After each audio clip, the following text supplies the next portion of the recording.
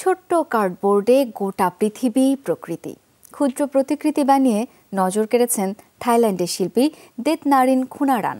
শিল্পের মাধ্যমে প্রাচীন জীবনধারা ফুটিয়ে তুলতে ভালোবাসেন তিনি। এই শিল্পী জানান, ভুলতে বসা অতীতকে ভবিষ্যৎ প্রজন্মের কাছে তুলে ধরাই তার লক্ষ্য। সাদামাটা দোকান ঘর থরে থরে সাজানো নিত্য প্রয়োজনীয় পণ্য।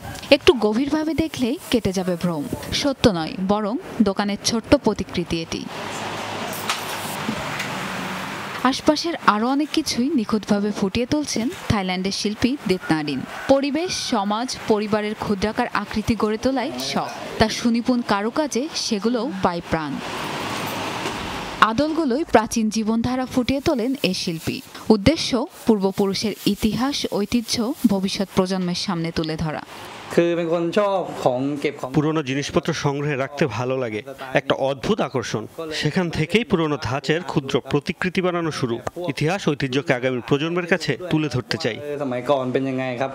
দেতনারিনের প্রত্যেক শিল্পকর্ম বহন করে ভিন্ন ভিন্ন ঘটনা। কাগজ, কাঠ আঠাসহ হরেক রকম উপকরণের মিশেলে ফুটিয়ে তোলেন দৃশ্যপট। তার দাবি, সেগুলোকে বাস্তবসম্মত করাটাই সবচেয়ে বড় চ্যালেঞ্জ।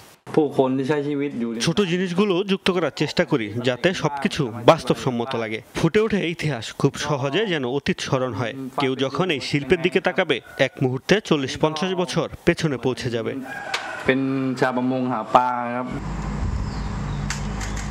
তিন বছর আগে শখের বসে কাজ শুরু করলেও বর্তমানে পুরোদস্তুর ব্যবসায়ী তিনি। পাঁচশো থেকে ছশো ডলারে বিক্রি করেন এক একটি শিল্পকর্ম।